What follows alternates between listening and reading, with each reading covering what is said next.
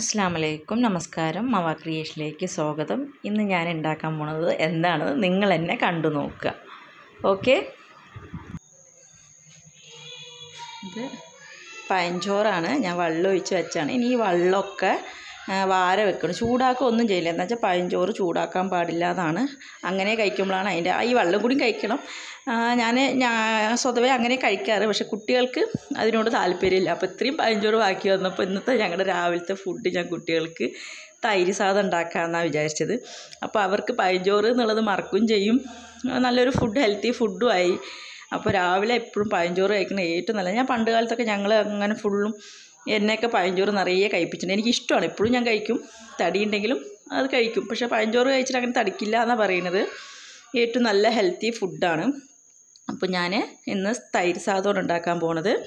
അപ്പോൾ പഞ്ചോറും കൊണ്ടുള്ള തൈര് സാധം ആരും ഇതുവരെ ഉണ്ടാക്കിയിട്ടില്ല. അങ്ങനെയല്ല സംഭവം. പക്ഷെ ഞാനായിട്ട് ഉണ്ടാക്കിയൊരു കുട്ടികളെ പറ്റിക്കാനായിട്ട് ചെയ്തൊരു സംഭവമാണ്. അപ്പോൾ അത് ഞാൻ എങ്ങനെയാണെന്നുള്ളത് കാണിക്കും. ശരിക്കത്തെ തൈര് സാധം ഞാൻ ഒരു ദിവസം ഉച്ചയ്ക്ക് ഉണ്ടാക്കിയിട്ട് ഞാൻ കാണിക്കുന്നതായിരിക്കും. അപ്പോൾ ഇപ്പോൾ ഒരു തരികിട തൈര് സാദം എന്ന് പറയാം. അപ്പോൾ ഈ പഴഞ്ചോറിന്റെ വെള്ളം ഞാൻ ഒന്നും ചെയ്യാണ്ട് അങ്ങനെ കളഞ്ഞ് ചോറ് മാത്രം എടുക്കണത് അത് വാര വെക്കട്ടെ. പിന്നെ ഇതിൽ വേണ്ട എന്തൊക്കെയാണെന്നുള്ളത് പറഞ്ഞുതരാം. പിന്നെ ഞാൻ എടുത്തിരിക്കുന്നത് കുറച്ച് ഇഞ്ചി എടുത്തിട്ടുണ്ട്. ഇഞ്ചി കൂടുതൽ അത്യാവശ്യം കുറച്ചും കൂടി ഇടാം. പക്ഷേ കുട്ടികൾക്കത് കടിക്കണത് ഇഷ്ടമല്ലല്ലോ. അതുകൊണ്ടാണ് ഞാൻ കുറച്ച് ഇഞ്ചി എടുത്തിരിക്കുന്നത് കരിവേപ്പില പച്ചമുളക് ഉണക്കമുളക്. പിന്നെ മല്ലിയില അതാക്കി വെച്ചിട്ടുണ്ട്. പിന്നെ മെയിൻ സാധനമായ നമ്മുടെ തൈര്. ചട്ടി വെച്ചിട്ടുണ്ട്. തീ ഒന്ന് ചൂടാവട്ടെ. ഞാനിതിന് വെളിച്ചെണ്ണയാണ് യൂസ് ചെയ്യണത് ഇപ്പോൾ അപ്പോൾ നമ്മൾ ഇതിപ്പോൾ കുട്ടികൾ കഴിക്കാൻ വേണ്ടിയിട്ട് പഴഞ്ചോറ് കഴിപ്പിക്കും. ഞാൻ കഴിക്കാറുണ്ട്. എങ്കിലും കുറച്ചൊന്ന് മാറ്റം വരുത്തിയിട്ടാണ് ഞാൻ ചെയ്യണത്. അപ്പോൾ എണ്ണ കാഞ്ഞ ശേഷം നമ്മുടെ ഉണക്കമുളക്. എണ്ണ ഒന്ന് ചൂടാവട്ടെ. എണ്ണ ചൂടായ ശേഷം നമ്മുടെ ഈ ഉണക്കമുളക് ഒന്നിട്ടിട്ട് നന്നായി ഒന്ന് ചൂടാവട്ടെ. ആ മണം വരുമ്പോഴാണ് അതിന്റെ ഒരു ഫ്ലേവർ അതിലേക്ക് ഇറങ്ങണം. ആ എണ്ണയിലേക്കൊക്കെ ഇറങ്ങണം. അപ്പോൾ അതിന് വേണ്ടിയിട്ട് ഒരു ഒരു പത്ത് സെക്കൻഡ് അതൊന്ന് ഇട്ട് അതിലേക്ക് എണ്ണയൊക്കെ അങ്ങോട്ട് പോട്ടെ. ഉണക്കമുളക് പൊട്ടിയ ശേഷം നമ്മുടെ കടുക് കടുക് ഇതിൽ മെയിനാണ്. അപ്പോൾ കുറച്ച് തോനെ കടുക് ഇട്ടിട്ട് നന്നായി പൊട്ടട്ടെ കേട്ടോ. ആ പൊട്ടണ മണം കൂടി വേണം ഈ തൈര് സാധനത്തിന്. ആ കടുക് നല്ല പൊട്ടിക്കോട്ടെ. അതിന്റെ കൂടെ തന്നെ നമുക്ക് നമ്മുടെ പരിപ്പ് ഉഴുന്ന് പരിപ്പില്ലേ? ഉഴുന്ന്. ഞാൻ ഇത്രത്തോളം ഉഴുന്ന് അതും കൂടി ഇടുന്നുണ്ട് കുറച്ചും കൂടി ഇടാം. എന്നാൽ കുറച്ച് തോനുണ്ടല്ലോ പഴഞ്ചോറ് കുറച്ചും കൂടി ഉഴുന്നിട്ടിട്ട് അതൊന്ന് വറുക്കട്ടെ.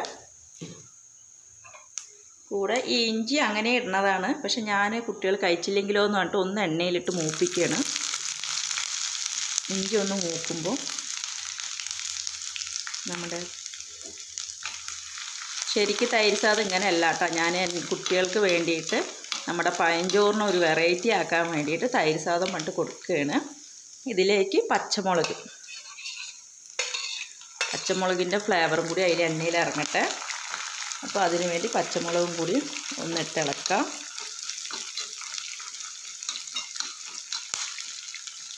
നന്നായി ഒന്ന് ഇളകട്ടെ.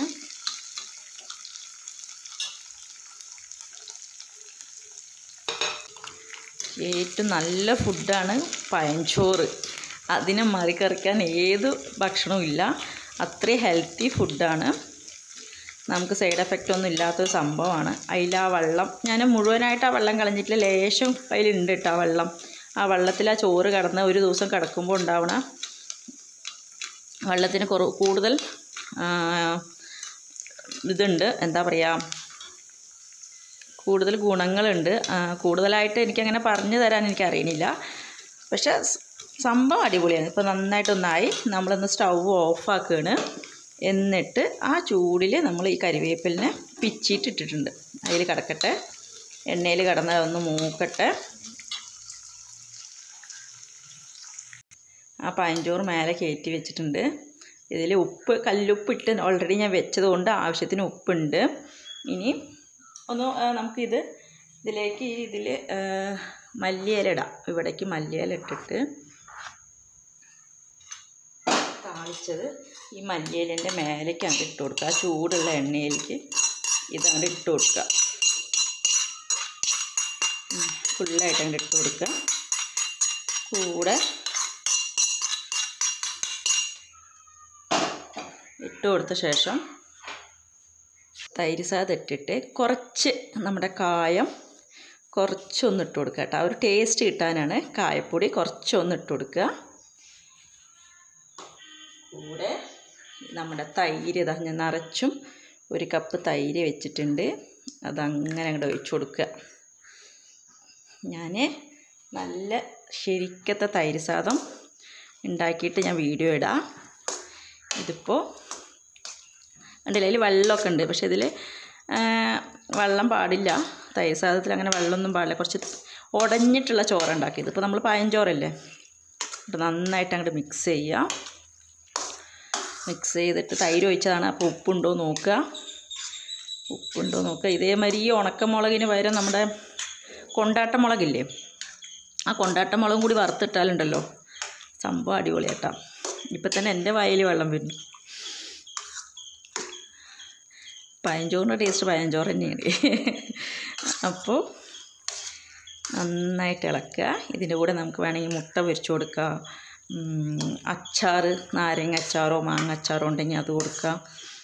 അങ്ങനെ നമുക്കിന്ന് രാവിലത്തെ ഫുഡ് കുട്ടികൾക്ക് തൈര് സാദം എന്ന് പറഞ്ഞ് പഴഞ്ചോറിനെയാണ് കൊടുക്കുന്നത് ഒരു ചെറിയൊരു പറ്റിക്കൽ. അപ്പോൾ നന്നായി ഇളക്കി കഴിഞ്ഞു. ഇനി നമുക്കിത് അവർക്ക് വിളമ്പി കൊടുക്കാം. അപ്പോൾ വീഡിയോ ഇഷ്ടമായാൽ നിങ്ങൾ ലൈക്ക് ചെയ്യുക ഷെയർ ചെയ്യുക സബ്സ്ക്രൈബ് ചെയ്യുക. അടുത്ത വീഡിയോ ആയിട്ട് ഇനിയും വരുന്നതായിരിക്കും. Okay bye.